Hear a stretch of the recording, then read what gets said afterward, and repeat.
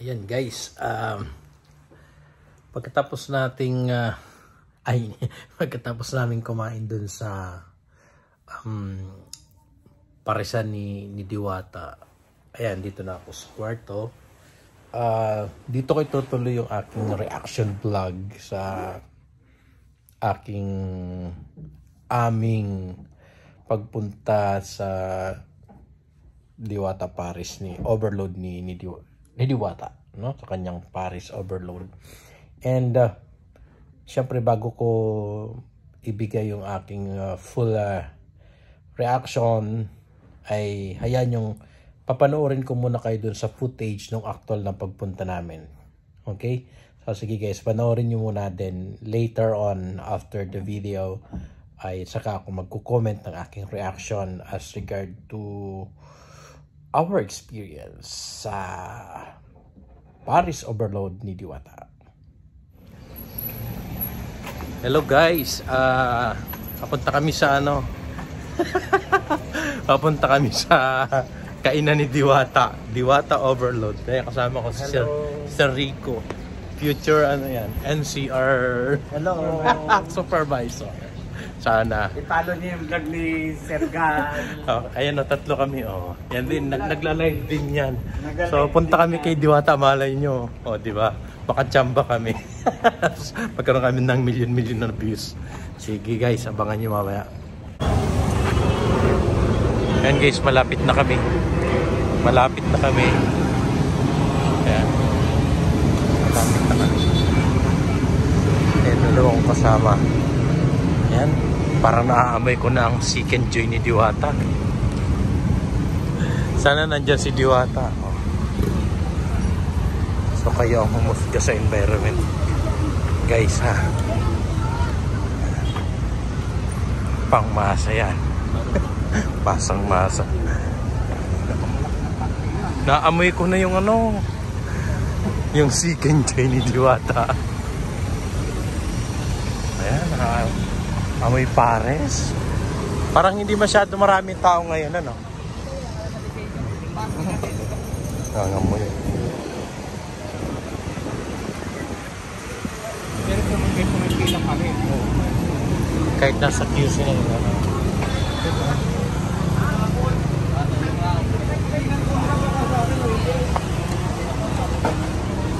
Ay, masa talaga. Ano Hmm?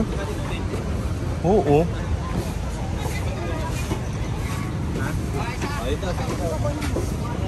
QC, QC.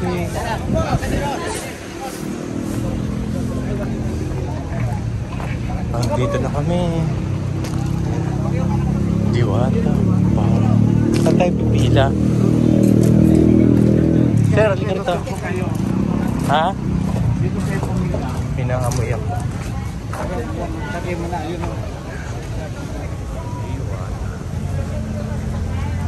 Yan, dito na kami ha.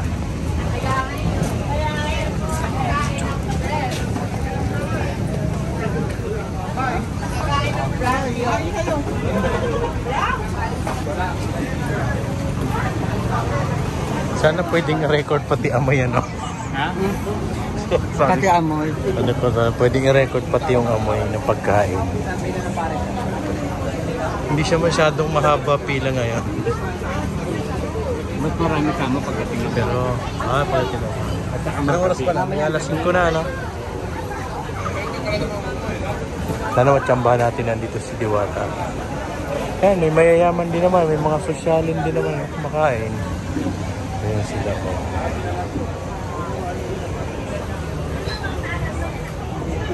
Ay, hindi ka magla-live. Ayan, ebidensya ha. Nandito ako sa Diwata Paris Overload. Tapos ano, anong benepisyo makakain mo rito? Dapat meron ka ka Oo. Di ba? Sige mamaya, tingnan natin kung ano benepisyo natin makukuha Oh, dito. Tapos ano,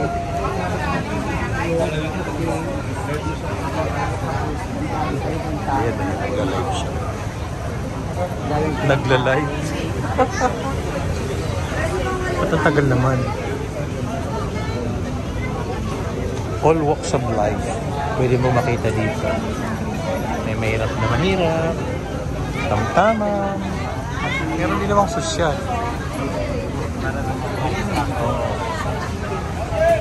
Siguro yung iba, curious. Ano? Parang ako. Out of curiosity kaya ako nandito.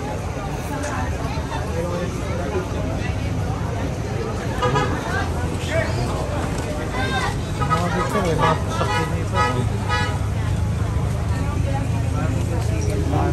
Mga pagkita rito, talagang dapat may sasakyan kasi yung transportation dito ay Mahirap. Oo. Naka, may nakachika ako. Pwede pala payment dito Gcash. oh. Diba? Cashless transaction lang. Nandito kami guys sa Station 1. Nakapila kami. Nakapila kami para... Station 2, pay, ano, cash department. Pay, ano, ano ba tayo? Cashier. Ayun, labo! Huwag ka na magbayad.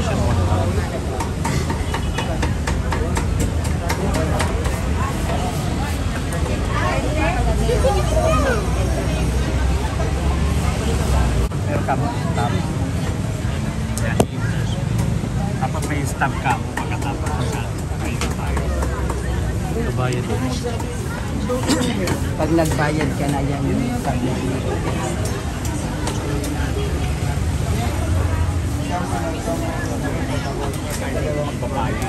Ito, may sasakyan.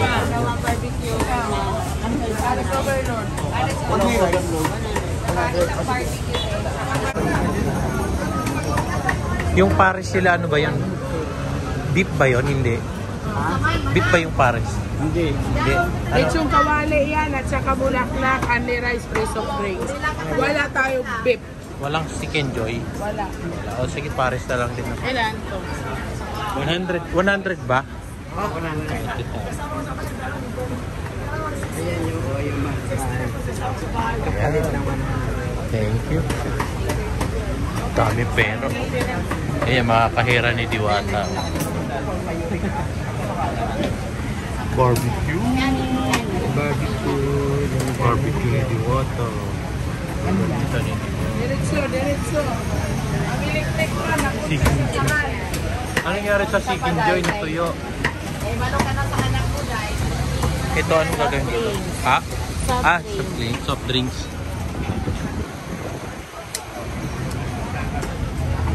Kutsarang tinidor tayo, station. Ah, Ay, isang sabawan pala ito. ah, sabaw. Ito lang. Sabaw tapos ang may akan. Wala palang beef, akala ko beef. Pork pala siya, tsaka ano. Laman loob. Tanggalin ko na yung laman loob, may uric acid ako. Ah, ito na yung rice. Malaki pala, ano? Tapos ito, lalagyan ng sabaw. Yan, paris na. May soft drink na free. Pag na Ay, ay, ay, ay. Nyari. Nabitawan ng sabaw. nakikita niyo yung mga ederma yan. Dalawang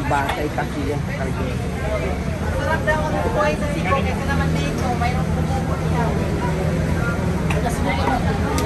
Ako kuya.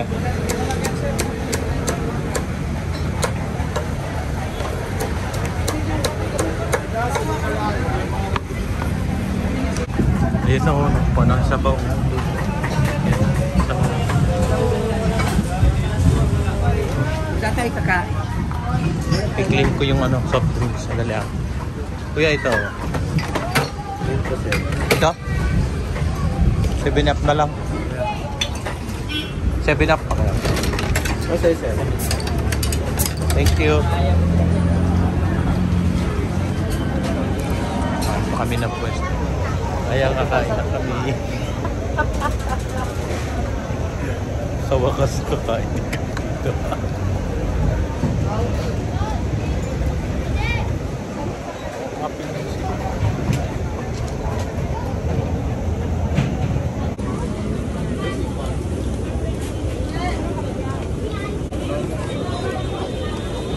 Kain na kami guys. So nilagyan ko na lang ano. Medyo may amoy. Hindi. Hindi lang hihiwa ng ano. Luya. Lang hihiwa. Bawang. Ang pares nila, hindi ba? So si Diwata. Pero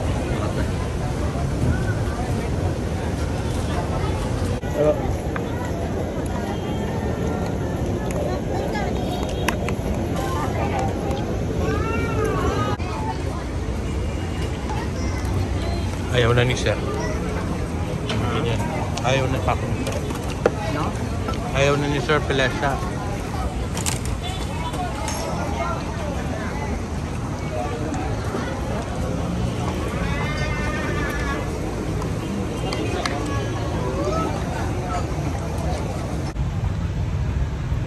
Ayan, tapos na kami kumain. Ah, sad to say, di naman namin inubos lahat ng kinain namin. Ah, mamaya ko lang ano, detalyehin yung yung comment ko sa Paris ni Diwata. May matutuhan kayo sana. So for the meantime, guys, malapit lang yan dito sa ano sa film center, film center ng ano.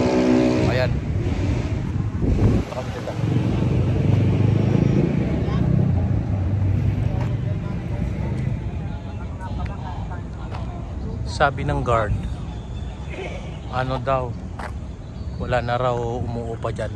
Dati nangungupahan dyan yung Amazing Philippines, yung show ng mga Becky.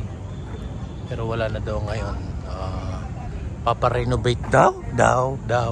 Nino, ni BBM sabi niya. Wish ko lang, sana na-renovate para mapaganda naman. Ayan, yan yung film center na balita nung araw no, na panahon ng mga Marcos na gumuho at maraming namatay daw. So yan. So yun. Parang hindi ko parang hindi ko nalasahan ng matino yung Paris overload ni Diwa. Ay nako. ang ang nare-retain sa sa taste buds ko ay yung ano, yung anghang lang. Pero yung lasa, yung hindi ko na siya ma-recall. Nagka-amnesia yata ako. Hindi ko ma-recall yung lasa ng Paris ni, ni Diwata. Ang ang nararamdaman ko yung anghang lang. Oh, yun, yun yung yun yung nare-retain sa akin yung anghang. Pero yung lasa ng ano, wala. Ayaw. Ayan, game na guys. Um, so napanood ninyo yung video ng pagpunta namin sa Parisan ni Diwata, no? So siguro the video will speak for itself.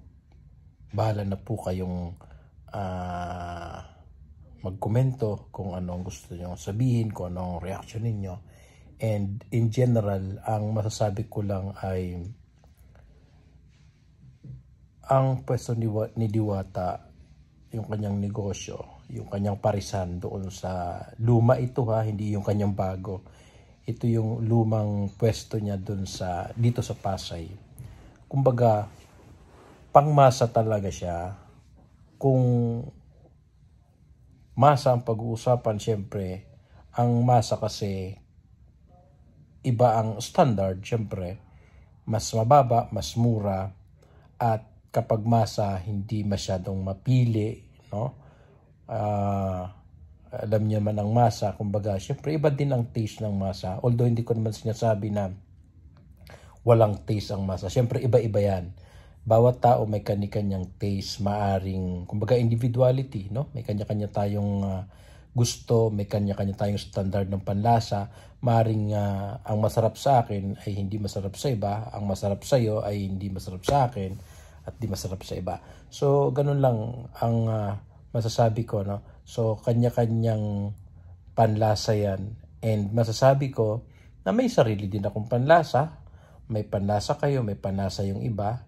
At, um, kumbaga, ang in general, ang Diwata Pares overload dito sa Pasay ay talagang pangmasa siya. Kaya lang kasi dahil nga sumikat itong si Diwata at ah, pinutakti ng iba pang mga vlogger, ah, naging viral sa sa social media.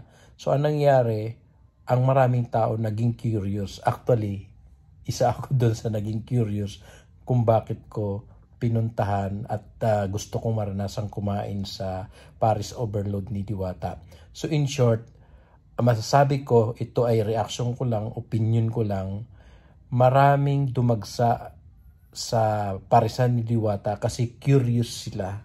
So marami curious talaga. So out of curiosity, kaya dinumog yan ng tao. At yun naman, no, swerte ni Diwata, yung mga curious na taong yon ay naging malaking tulong para siya umangat, kumita siya ng malaki at umangat siya at marating niya yung kinalalagyan niya ngayon.